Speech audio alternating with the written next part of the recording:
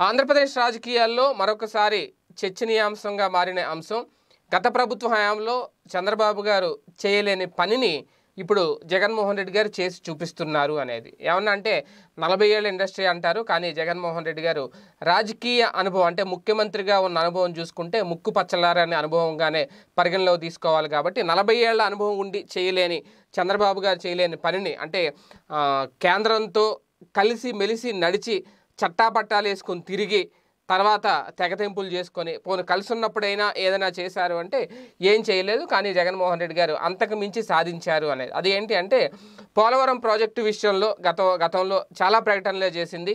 గత అధికారంలో ఉన్న తెలుగుదేశం పార్టీ. అప్పట్లో ప్రతి సోమవారాన్ని అంటే పోలవరంగా మార్చేసి ఎన్నో సమీక్షలు సమావేశాలు నిర్వహించి ఒక అతిపెద్ద సాగునీటి ప్రాజెక్టు కాబట్టి ఆ సాగునీటి ప్రాజెక్టు ద్వారా కొన్ని అంటే ఈ సాగునీటి ప్రాజెక్టు కానీ పూర్తిగా వచ్చేస్తే కంప్లీట్ అయిపోతే రాష్ట్రంలో ఎటువంటి కొరత ఉండదు. సాగు తాగునీటికి సంబంధించి అనేది ప్రతి నీటి చుక్కని కూడా నిల్వ చేసుకోవచ్చు. ఒక జీవనాడిగా మారుతుంది ఆంధ్రప్రదేశ్ అనేది. వాస్తవానికి అది కూడా నిజమే.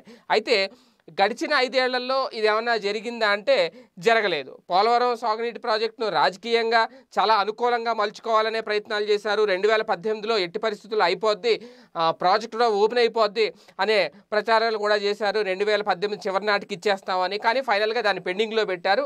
అటువంటి ప్రాజెక్టులు పూర్తి చేయాలంటే మళ్ళీ చంద్రబాబు గారే అధికారంలోకి రావాలి అనే ఆలోచనని ప్రజల్లోకి వచ్చేలాగా ప్రచారం కూడా చేసుకున్నారు అప్పట్లో.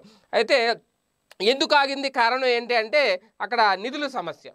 కేంద్రం నుంచి రావాల్సిన నిధులను రప్పించుకోవడంలో తెప్పించుకోవడంలో సక్సెస్ సాధించలేకపోయారు చంద్రబాబు గారు అనేది. ఎందుకంటే కొన్ని కొన్ని విషయాల్లో ఏదో అంటారు ఎక్కడ నెగ్గాల కాదు ఎక్కడ తగ్గ తగ్గాలో తెలుసుకోవాలి అని. అది ఇప్పుడు జగన్మోహన్ రెడ్డి గారు చేస్తున్నారు అనేది. దానికి కారణం ఏంటి అంటే జగన్మోహన్ రెడ్డి గారు కేంద్రంతో సఖ్యతగా ఉండడం ఆయన అద్భుతమైన రాజకీయ వ్యూహాలు రచించడం కారణంగా పెండింగ్లో ఉన్న మొత్తం పూర్తి మొత్తం అంటే మూడు వేల కోట్లకు గాను ఇప్పుడు ఆ, పెండింగ్లో ఉన్న అమౌంట్ని ఆ నిధుల్ని విడుదల చేయడానికి కేంద్రం పచ్చజెండా ఊపింది అనేది. మరి ఇది ఎలా సాధ్యమైంది అంటే కేవలం జగన్మోహన్ రెడ్డి గారు రచించిన రాజకీయ వ్యూహమే తప్ప వేరే ఏమీ లేదు అనేది ఇప్పుడు రాజకీయ విశ్లేషకులు చెబుతున్నమాట. అంటే నిధులు విడుదలకు రంగం రెడీ అయిన నేపథ్యంలో ప్రాజెక్ట్ ఇప్పుడు పుంజుకోవడం ఖాయం అవుతుంది ఏమీ దీని గురించి అక్కడ ప్రచారాలు చేసుకోవట్లేదు? జగన్మోహన్ రెడ్డి గారు ప్రభుత్వం కానీ జగ జగన్మోహన్ రెడ్డి గారు కానీ వైసీపీ నాయకులు కానీ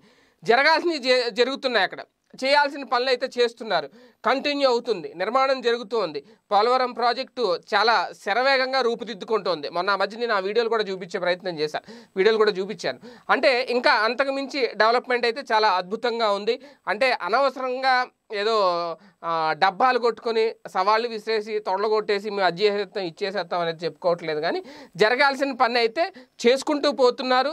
ఎక్కడ జరగాల్సింది ఏ పని అది చేసుకుంటూ వెళ్ళిపోతున్నారు. దేన్ని రాజకీయంగా ఉపయోగించుకునే ఆలోచన అయితే ఇంకా జగన్మోహన్ రెడ్డి గారు చేయట్లేదు. అందుకే కొన్ని కొన్ని ఇటువంటివి తెలుసుకున్నప్పుడు ఖచ్చితంగా అందరికీ తెలియాలి. కాబట్టి ఇప్పుడు కేంద్ర ప్రభుత్వం మూడు వేల కోట్లకు పైగా ఇచ్చేందుకైతే ఇప్పుడు సిద్ధమైంది.